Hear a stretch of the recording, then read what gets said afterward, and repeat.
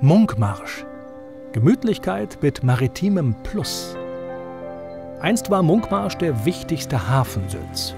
Geblieben ist ein Fährhaus im viktorianischen Stil und ein verwunschenes Dörfchen, das wohltuende Ruhe garantiert, aber auch das Herz von Wassersportlern höher schlagen lässt.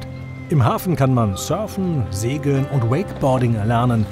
Die frische Brise gibt's gratis dazu. Außerdem verführen die schönsten Wanderwege der Insel zu ausgedehnten Spaziergängen. Kein Wunder, dass die trubelfreie Gemütlichkeit am Wattenmeer zunehmend Fans von außerhalb findet. Typisch für Munkmarsch sind alte und neue Klinkerhäuser im Friesenstil mit tief gezogenen Reddächern und grünen Hecken ringsum. My home is my castle. Der perfekte Ort für Individualisten mit sportlichen Ambitionen.